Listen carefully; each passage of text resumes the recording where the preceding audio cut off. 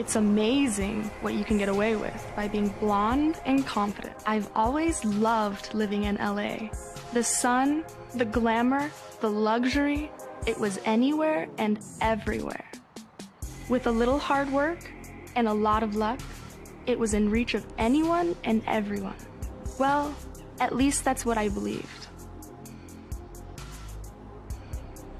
Don't get me wrong, I'm not some naive rich girl who doesn't know the value of money or hard work. Quite the opposite, actually. I've had to work for everything I've got.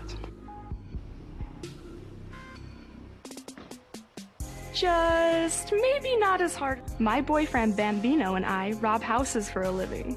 I drive around pretending to be some LA bimbo taking selfies. But in reality, I'm scouting. Home. I go around looking for houses that show signs that their owners haven't been around for a while.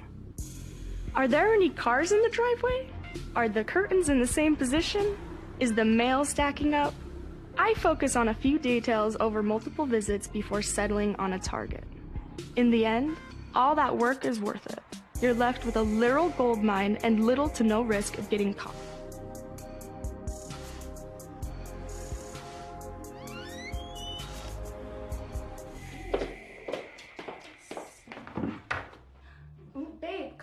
Come look at these. Look, look they're all my size. Oh, they look nice.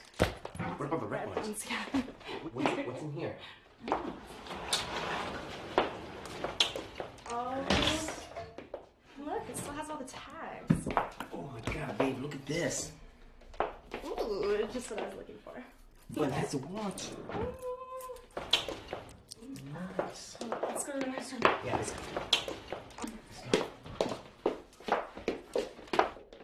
Wow, this house is huge. Let's get some jewelry and cash and go.